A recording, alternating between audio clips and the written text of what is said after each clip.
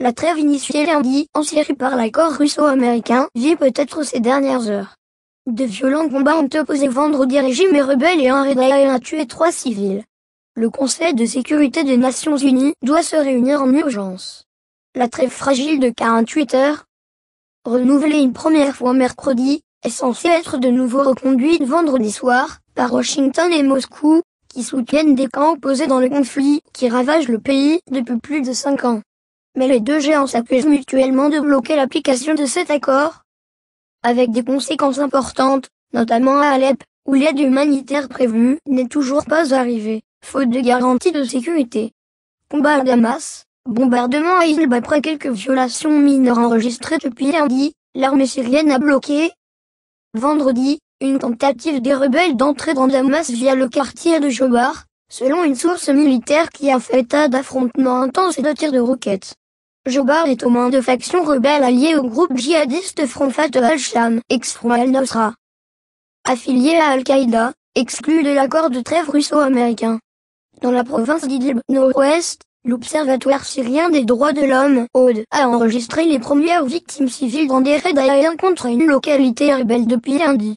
Il s'agit de trois personnes, dont deux enfants morts à Kanchekoun dans des frappes menées par des avions non identifiés. États-Unis et Russie s'accusent mutuellement de ne pas respecter l'accord il m'en reste, pas moins que le niveau des violences a sensiblement baissé sur l'ensemble des fronts, à la faveur de l'accord russo-américain. Le Conseil de sécurité de l'ONU veut examiner l'opportunité de soutenir cet accord. Lors d'une réunion à huis clos en présence des chefs de diplomatie américaine John Kerry et russe Sergei Lavrov. Le président américain Barack Obama doit auparavant réunir son équipe de sécurité nationale dont John Kerry est le secrétaire à la défense Ashton Carter. Pour faire le point sur la situation, l'armée russe, elle, a annoncé sa volonté de prolonger la trêve de 72 heures malgré les nombreuses violations. Le défi auquel nous continuons de faire face est de s'assurer que toutes les parties au conflit et ceux qui ont de l'influence sur elles se mettent d'accord, a déclaré David Swanson, un porte-parole de l'ONU. C'est terriblement frustrant.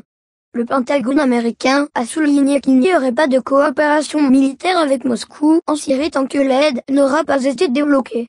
À l'heure qu'il est, les camions qui pourraient acheminer de l'aide vitale attendent NDRL à la frontière entre la Turquie et la Syrie.